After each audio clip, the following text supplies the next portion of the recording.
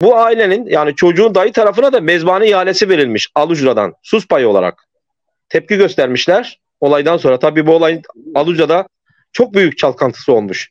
Ben kızımın olayından sonra bu olayı öğrendim. Tüm Giresun'daki siyasetçiler, AK Parti siyasetçiler bu olayı biliyormuş.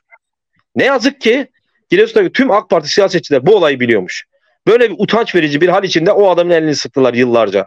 Peşine gittiler. Ve Rabia Nazımızın sürecinde işte bu durumlar ortaya geldi.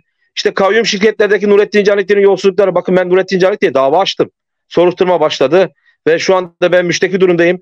Nurettin Canikli sanık durumunda, Fatih Salih Paşaoğlu sanık durumunda, Recep Çörekçi sanık durumunda, İsmail Özkaya sanık durumunda, Coşkun Somuncuoğlu sanık durumunda, Müge Anlı sanık durumunda, Muhammed Vatan sanık durumunda. O beyanın içinde hepsi var. Bunların hepsi incelenecek. Ve tahtikat devam ediyor.